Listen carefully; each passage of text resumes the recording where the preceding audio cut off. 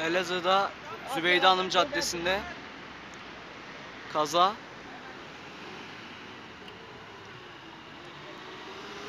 Hatalı sollama yapan araç buradan eser kaldı.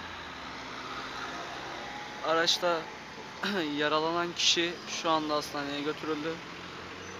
Trafik ekipleri yolu kapatarak, sol şeridi kapatarak müdahale yapıyor.